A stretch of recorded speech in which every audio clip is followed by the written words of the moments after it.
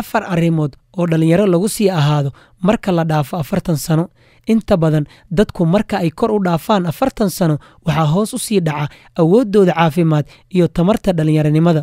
Dhammaanteen waxaan jecelnahay in aan sii ahaanno dhallinyaro mana ahan wax aan suuragal ahayn sababtoo ah waxay ku xidhan tahay caafimaadkiiyo firfircoonnida waxaa jira dad badan oo da'dooda ay agtooda ka tahay tiro oo keliya kuwaasoo marna aan la isku soo qaban karin da'dooda iyo muuqaalkooda. Kuwani waa dabeecadaha haddii aad joogtayso kuu sahlaya in aadan dareemin hoosudhac dhinaca awoodda ah. Kow si joogtaha ula soco caafimaadkaaga. Tiro badan oo ka mid ah dadka ay ku dhacaan cudurrada halista ah waxay ka war helaan oo keliya mar ay xaaladooda faraha ka baxday taasi waxaa sababa in qofka uusan si joogto ah ula xiriirin dhakhtarka xanuunnada uu qarka u saaran yahayna aan laga hortegin waxaa ka mid ah cudurka sokorta dhiigkarka kolestaroolka iyo kuwo ka sii waaweyn sida wadna xanuunka iyo kansarka noocyadiisa kala duwan. Haddaba waxaa aad muhiim u ah in qofka uu taxadar dheeri ah ka sameeyo xogtiisa caafimaadka marka uu kor u sii dhaafo afartan sano labo.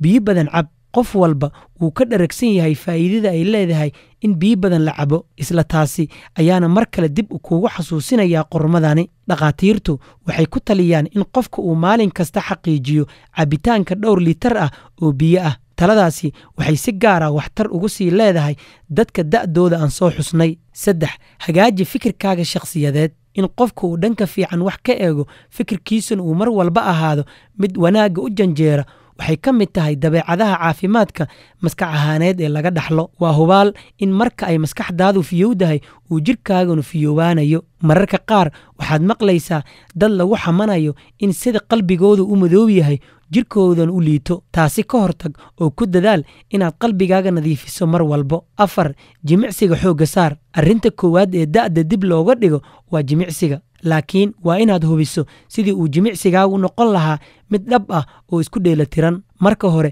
awooddaada ogow kadibna samayso yool aad ka soo bixi karto kuna dadaal inaad sare u sii kacdo. Sida ugu habboon waa inaad yeelato tababare xirfad u leh arrimaha jimicsiga